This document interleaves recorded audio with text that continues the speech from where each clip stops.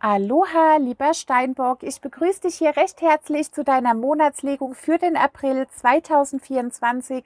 Und wenn dich interessiert, was denn in den verschiedenen Lebensbereichen so auf dich zukommen wird, dann bleib doch jetzt einfach dran. Bis gleich.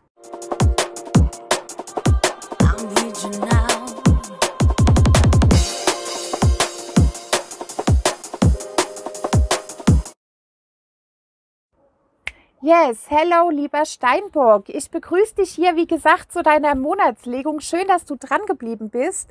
Und ähm, du bist hier vollkommen richtig, wenn du den Steinbock im Mond, Venus oder auch Aszendent hast und selbstverständlich eben sowieso in deinem Sternzeichen. Wie du siehst, habe ich hier schon drei Kartendecks vorbereitet, mit denen ich hier heute legen möchte.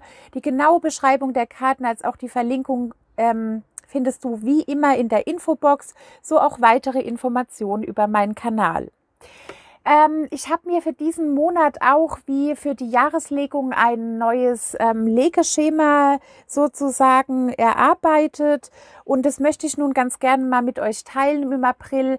Ähm, ich würde mich total darüber freuen, wenn ihr mir auch ein Feedback gebt oder auch einfach mal sagt, ob ihr das gut oder schlecht findet, ob ihr eher mögt, dass ich wieder ähm, ein großes Blatt für euch lege oder, oder ob ihr damit derzeit vielleicht auch mehr anfangen könnt.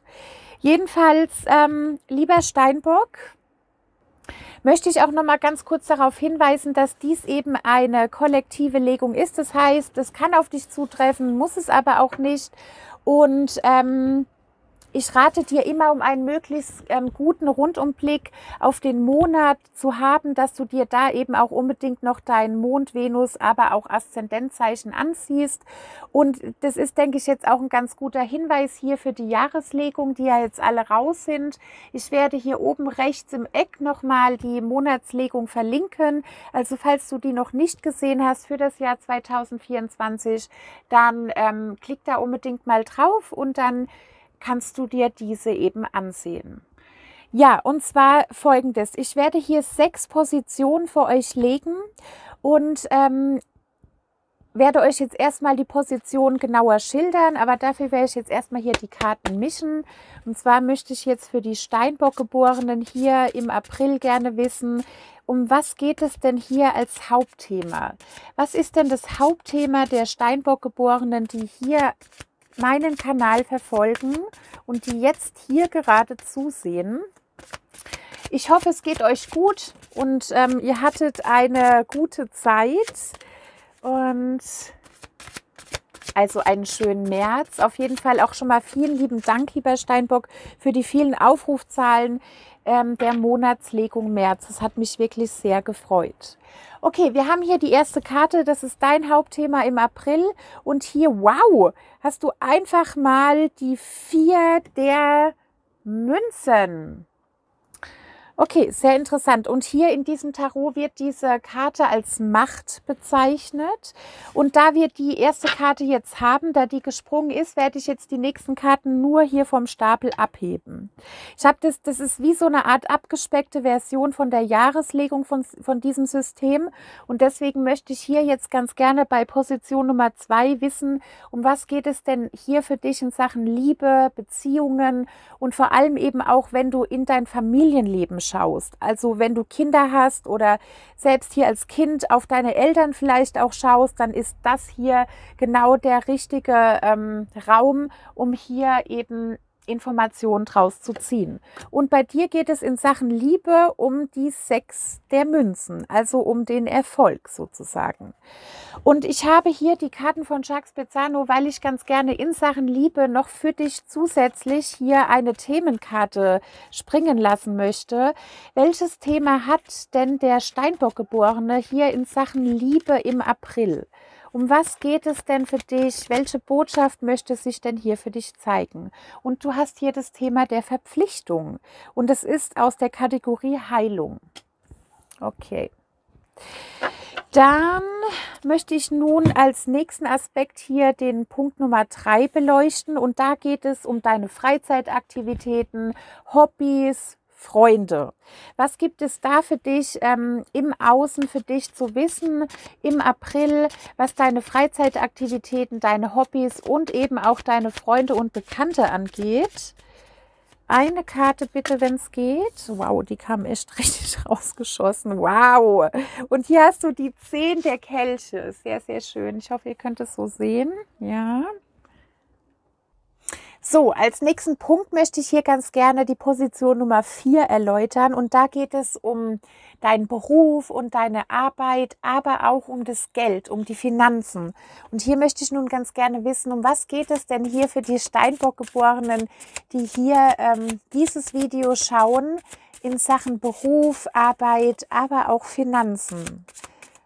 Was macht diese Sparte im April aus? Und hier haben wir die Neun der Schwerter.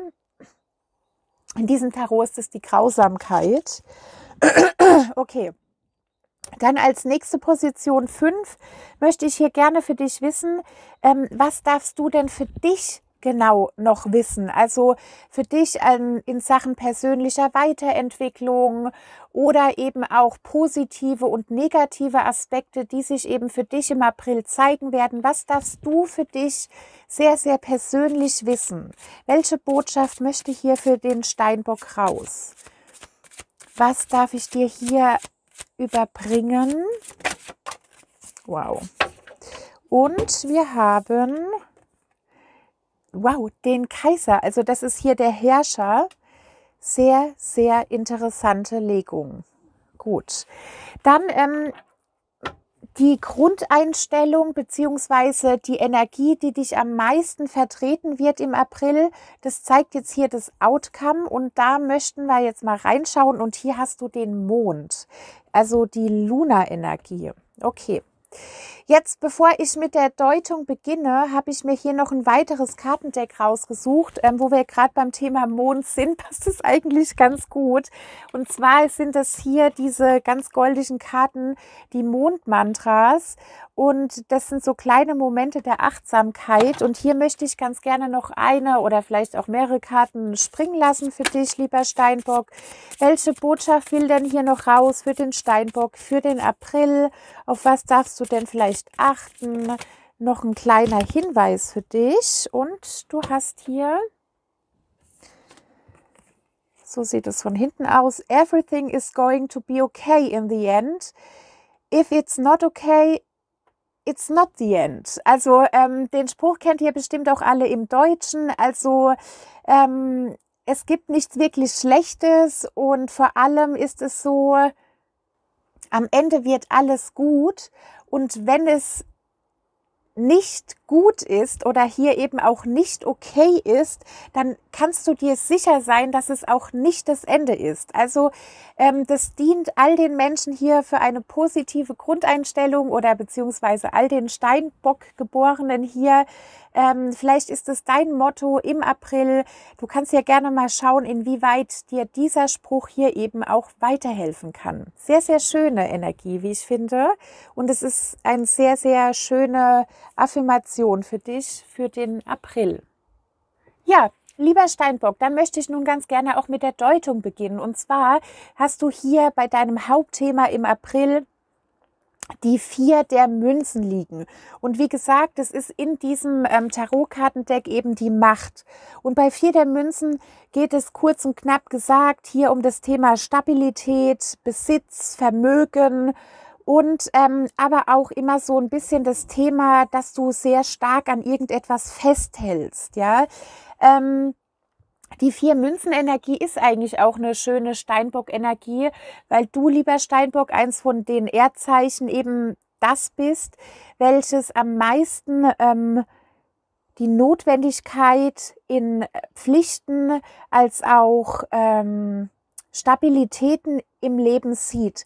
Du brauchst einfach eine gewisse Stabilität in deinem Leben, um dich sicher und vor allem eben auch gut zu fühlen. Also wenn bei dir alles im Chaos versinkt und ähm, alles irgendwelchen Veränderungen unterworfen ist, dann ähm, hast du eben auch oft das Gefühl von Chaos und ähm, das fühlt sich alles nicht so wirklich gut und richtig an. Du brauchst auch so ein bisschen ähm, so einen Alltagstrott, zumindestens in gewissen Lebensbereichen, um eben, wie gesagt, auch das Thema ähm, Sicherheit und Stabilität für dich eben auch ähm, im Reinen zu wissen sozusagen. Und ähm, da das eben jetzt hier in deinem Hauptthema liegt, lieber Steinbock, darfst du auf jeden Fall wissen, dass es schön wäre oder auch gut für dich wäre, im April mal ein bisschen den Fokus von all deinen Sicherheiten und Stabilitäten mal hinwegzunehmen und dieses erhöhte Sicherheitsbedürfnis, was du vielleicht auch ausgerechnet im April eben auch sehr stark bei dir spüren wirst, dass du da eben auch mal offen bleibst, tolerant bleibst, was eben auch ähm, neue Dinge in deinem Leben angeht. Weil der April ist ja auch immer ein Monat, der eben auch unbedingt Neues in unser Leben bringt, weil es ja sozusagen auch der erste Monat im Frühjahr darstellt und ähm, somit eben auch durch die Energie von Ostern auch so für jeden an sich so eine Auferstehungsenergie beinhaltet. Und vielleicht darfst du hier mal gucken, wo es denn vielleicht für dich sinnvoll wäre, hier vielleicht mal ein bisschen loszulassen und ähm, eben nicht alles danach zu entscheiden, ob oder wie sich etwas für dich in Sachen Stabilität und Sicherheit in Zukunft auswirken wird, sondern dass du da eben einfach, wie gesagt, ein bisschen spontan bleibst und ähm, dich hierdurch eben auch nicht selbst behinderst, ja, weil die vier Münzen ist eben auch so dieses Festhalten. Und wenn du etwas festhältst, dann hast du eben einfach beide Hände zu und bist gar nicht in der Lage, wirklich etwas Neues zu empfangen, ja.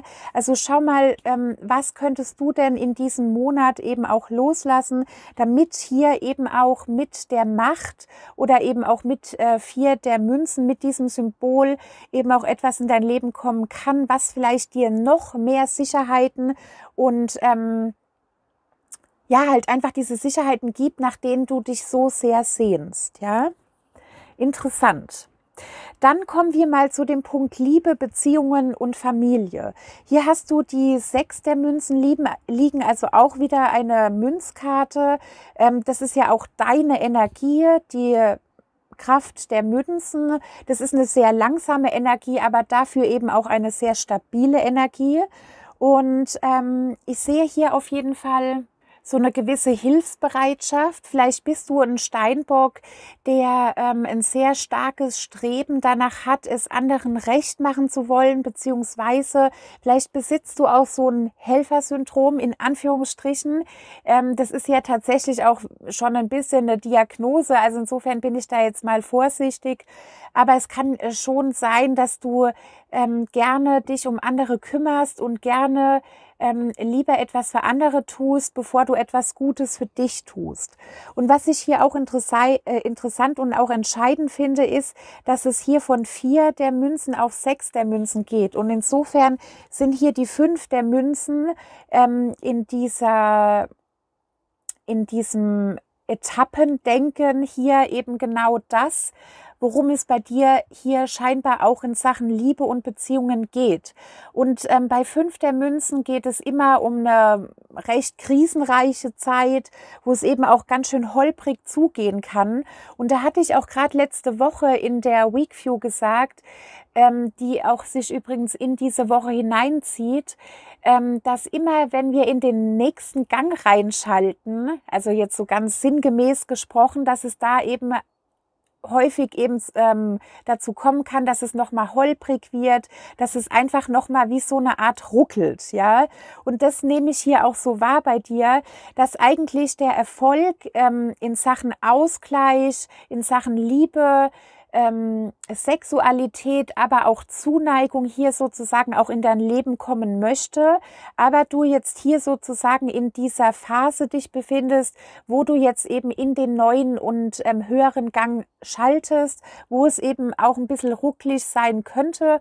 Und hier einfach nochmal der Hinweis für dich, lieber ähm, Steinbock, bleib hier cool und wisse, dass auch diese Zeit hier vorübergeht. Und auch da passt ja wieder sehr gut dieser Spruch, also wisse, dass ähm, alles am Ende gut wird und wenn es eben jetzt gerade nicht gut ist in Sachen Beziehungen und Familie, dann ist es eben auch nicht das Ende, ja.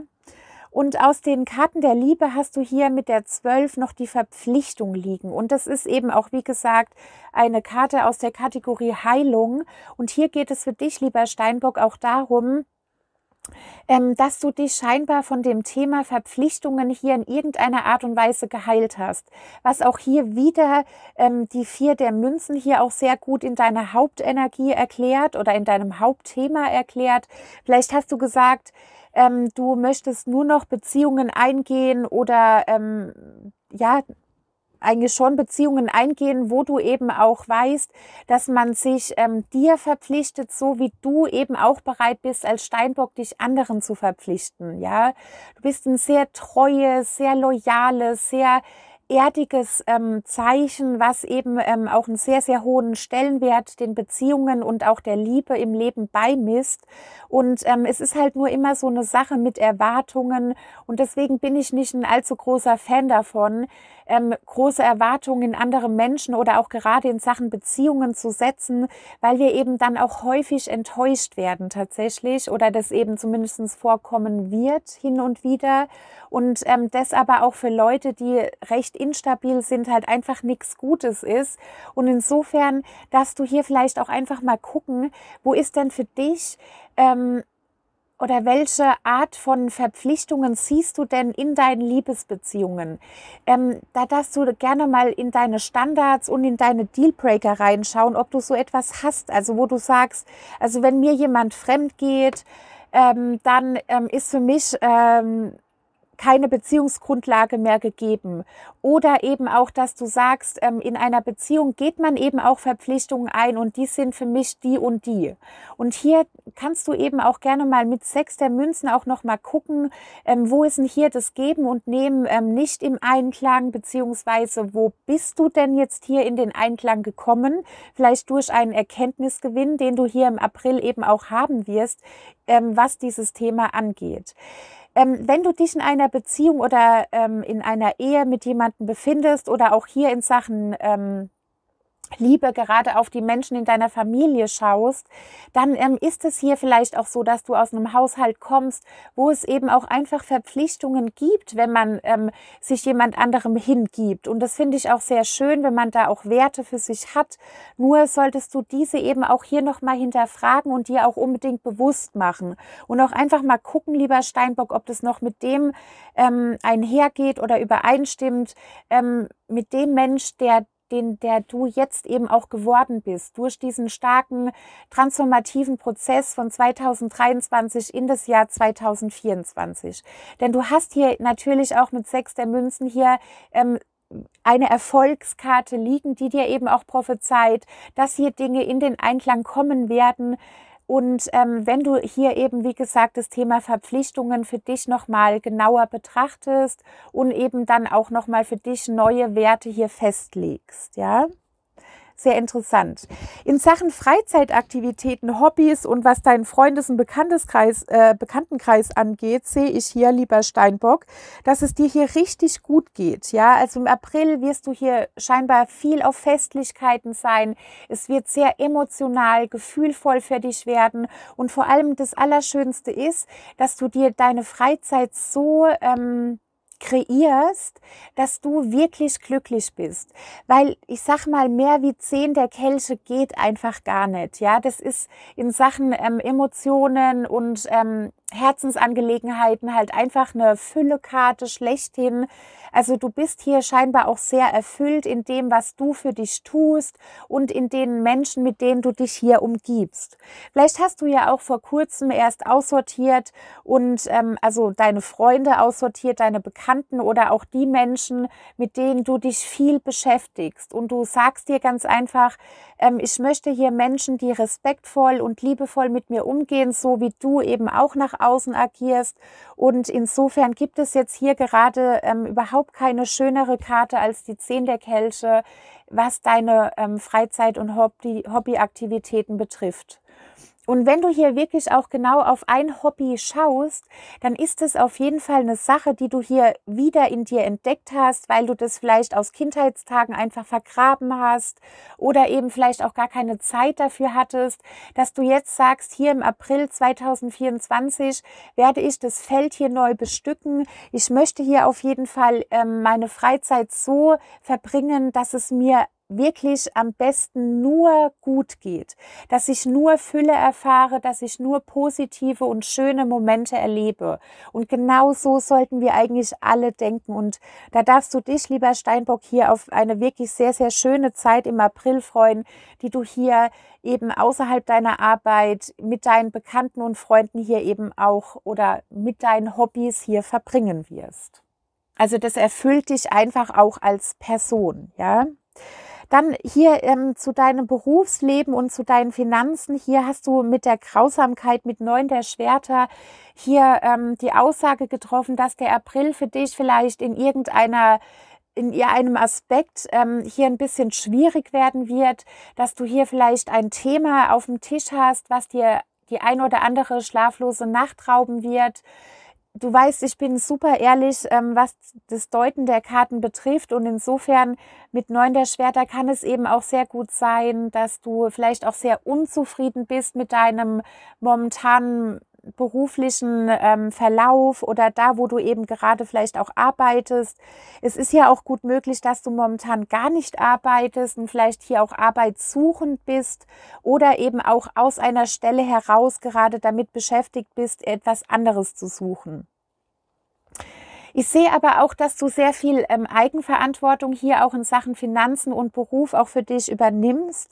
Und ich dir hier aber auch unbedingt sagen sollte, ähm, dass es vielleicht hier ganz angebracht wäre, wenn du nicht so sehr ähm, dir das aufbürdest, ja, sondern dass du eben auch versuchst, ähm, falls du eben einen nicht so ähm, tollen Berufsleben gerade ausgesetzt bist, dass du eben guckst, dass du wenigstens in deiner Freizeit am Wochenende ähm, oder eben auch in deinen Hobbys eben schaust, dass du dir hier ähm, eine gute Energie in dein Haus holst, dass du hier schaust, dass du dich positiv ausrichtest, damit hier diese negative Energie, die ich hier in diesem ähm, Aspekt hier gerade für dich im April sehe, das hier wieder ins Gleichgewicht bringt.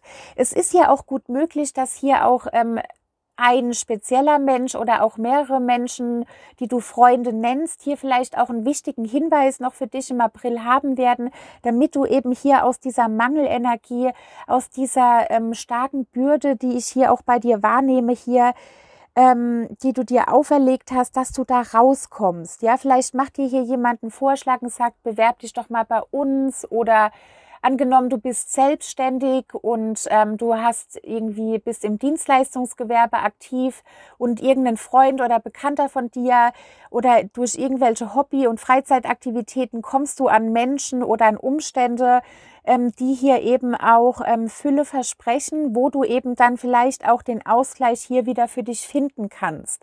Aber auch hier ist eben die vier der Münzenenergien maßgeblich. Das heißt, auch hier ist es derzeit scheinbar sehr wichtig für dich, lieber Steinbock, dass du irgendetwas loslässt, ja.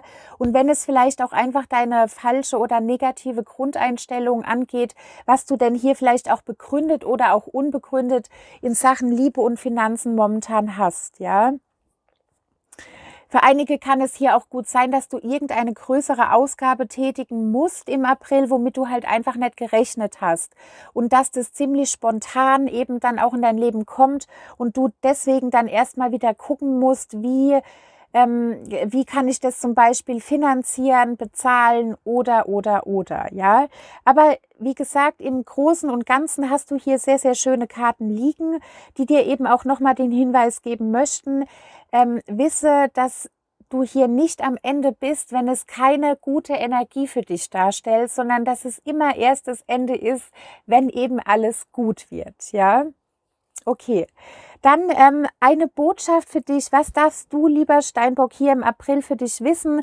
ähm, positiver, negativer Aspekt ähm, des Herrschers. Also hier ist es so, dass hier scheinbar ein Mensch auf dich schaut und ähm, entweder hast du diesem Mensch diesen Rang zugeordnet, also dass du hier auf jemanden aufblickst. Das bedeutet, das könnte eine Autoritätsperson sein, das kann aber natürlich hier auch dein Partner sein oder eben auch dein Herzensmensch, der hier ähm, sich jetzt für dich ins Blatt legt und sagt, ähm, es ist wichtig für dich, lieber Stein, Steinbock, dass du im April ähm, für dich verstehst, dass du ähm, sozusagen der Schöpfer und die Schöpferin deines Lebens bist und dass du die Person bist, die Dinge entscheidet, ob hier etwas gut oder schlecht läuft und wo du deine Energie und vor allem auch in welchem Maße eben ausrichtest, ja. Und ähm, der der Herrscher sagt hier aber auch, dass hier jemand auch ein ähm, sehr starkes Interesse an dir hat, dich eben auch hier näher kennenzulernen. Ähm, vor allem gilt es jetzt eben auch, wenn du hier als Single zusiehst. Und es ist jetzt auch egal, wenn du hier als Mann zusiehst, dann kann das hier natürlich auch die Herrscherin sein, also eben in einem anderen Geschlecht sich darstellen. Und ähm, das ist für dich eben ein sehr, sehr wichtiges Thema, worum es für dich eben auch scheinbar viel auch in Sachen Liebe geht. Du möchtest ja hier auch wieder ähm, zum Erfolg kommen. Du möchtest, dass deine Beziehung, die aktuell läuft, dass die wieder positiver ist. Du möchtest, dass wenn du Single bist, hier eben endlich ein Mensch für dich ins Leben kommt. Und das sagst du hier auch ganz klar, der eben auch auf Augenhöhe mit dir agieren kann. Also jemand, der einfach ähm,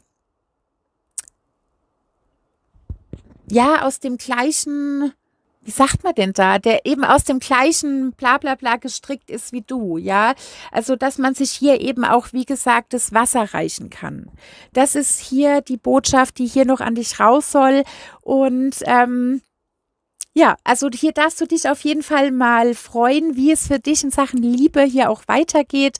Wenn sich jetzt hier ähm, durch diese Botschaft vielleicht dein Partner oder deine Partnerin angekündigt hat, mit der du schon in einer Familie lebst, dann sehe ich hier, dass es hier aber für euch beide auch um das Thema Verpflichtungen geht und dass sich hier auch jemand vielleicht auch ein bisschen von dir distanziert hat, sich hier von dir wegdreht, weil du eben vielleicht auch zu viele Verpflichtungen in Sachen Liebe für dich festgelegt hast. Aber die Liebe ist etwas Freies, die, die eben jetzt nicht unbedingt irgendwelchen Pflicht, äh, Verpflichtungen nachkommen möchte, ja, sondern eben lieber frei und ähm, liebevoll agiert.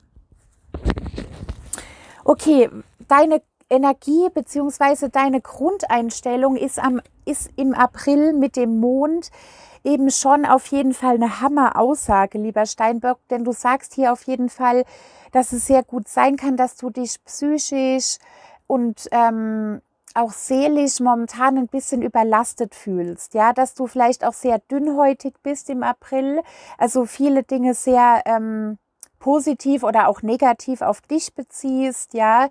Und das solltest du hier aber unbedingt nicht tun. Du solltest hier auch eine gewisse Distanz zu all den Themen, die sich bei dir in deinem Leben abspielen, auch gewahren oder bewahren und ähm, dir nicht immer alles so arg zum Her zu Herzen nehmen. Ja, weil du bist ja auch ein Sternzeichen, was sehr stark nach Harmonie und ähm, schönen, freudigen ähm, Erlebnissen strebt.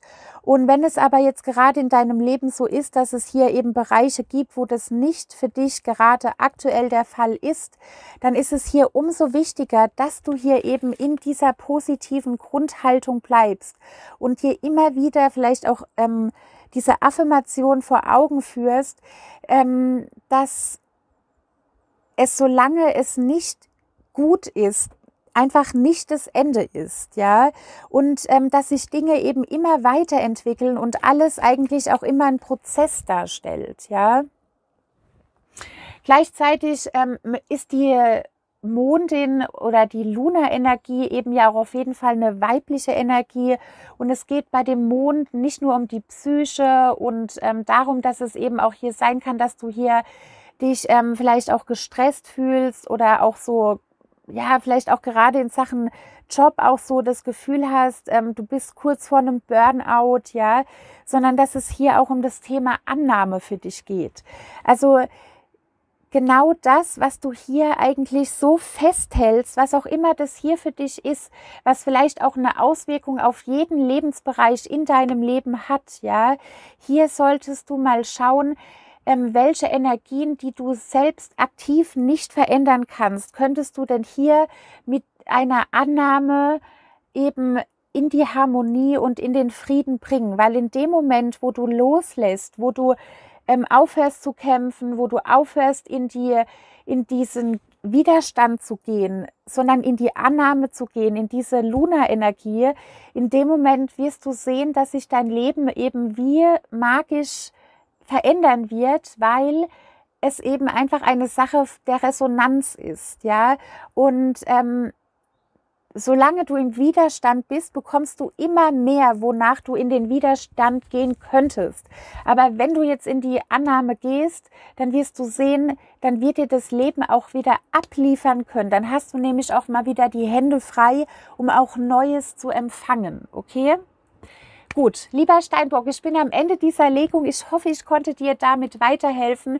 Schreib mir, wie gesagt, gerne mal in die Kommentare, wie du dieses neue Legeschema findest und ob du denn vielleicht lieber hättest, dass ich wieder das große Blatt lege. Es würde mich sehr freuen, wenn du dich da aktiv dran beteiligst. Ich wünsche dir einen wunderschönen April